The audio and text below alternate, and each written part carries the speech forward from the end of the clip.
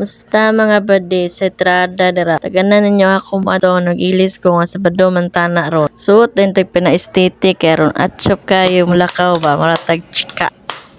Anta guys. Sud ana karon kay bangos. Time sa. Ngutan ko ba? Ngayon dili lasa gatas ang milkfish.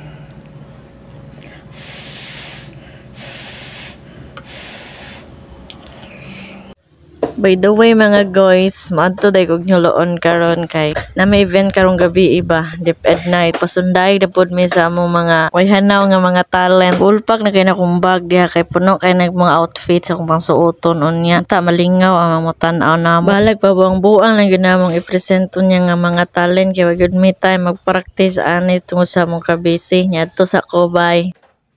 So mao to abot na dayon ko sa eskwelahan kay magic man ni siya sa isa ka pagpamilok ay abot na dayon ko. So good na mi pagwapa diri ah nanan mo ni among makeup artist RC Munyo. Namoy mga nga mga event kay nangan niyo mga magpagwapa magpa-enhance sa iyong sarili. Ingna lang ko kay ato ni siyang i-chat dali ra kay ni siya. Dali ra kay ni siya hangyoon madto dayon ni. Bisan ba laging magkinon sang kalibutan.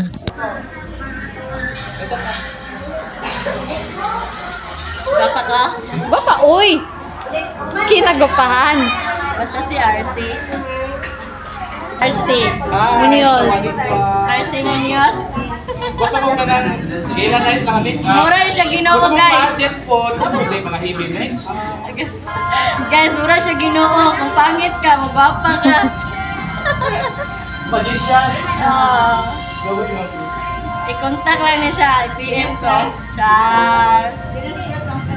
Message, RC Munoz. RC Munoz, si Umubuan. Bakit ito friend maging mo? Tignan mo kung kuhan.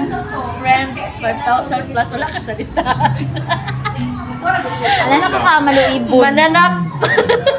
Hindi ko na mo i-add. Mananap di ay. Sige, yan. Nakaon niya.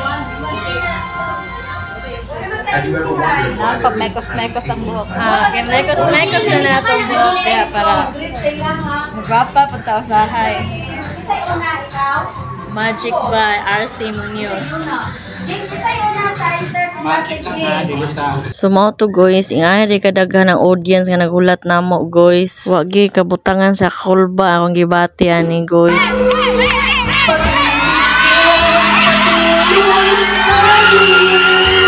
Ingana kahugyaw ang mong audience na nga time guys. Pwede na akong kulba. O kasabot sa akong gibati na ako just kilid ka na nagtindog. Naka, naka brown. Kulba, my God. Ako ni sunod.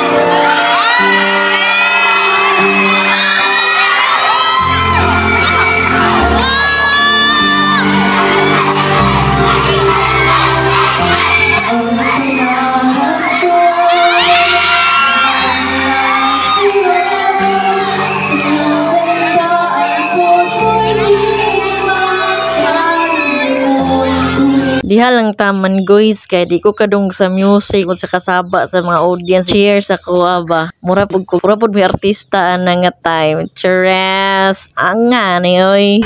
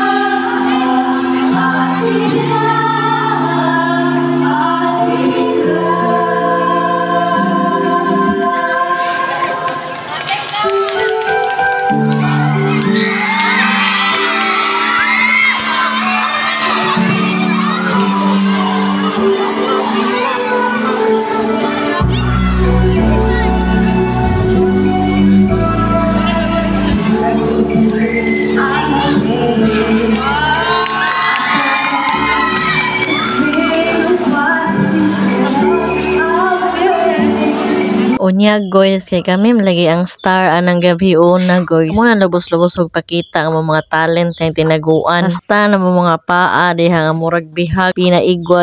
Uyog-uyog ang kalibutan lagi guys. So dila na to ipadungo ang music guys kay basi kabalo mo unsa na mong gisayaw. Joke. Tani tayo gid mi anang gabi ah. Balag final practice na yun na mo na yung may tayo mag-practice. Nya gani nga Dipid Night guys nag-search dahil may anig kinagwapang maestra.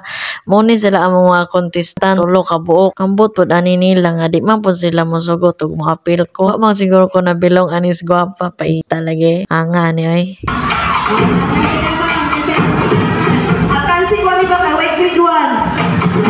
Hello, walo lang